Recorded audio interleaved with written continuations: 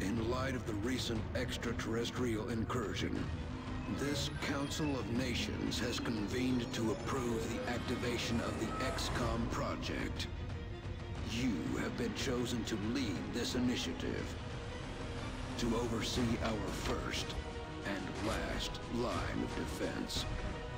Your efforts will have considerable influence on this planet's future. We urge you to keep that in mind as you proceed.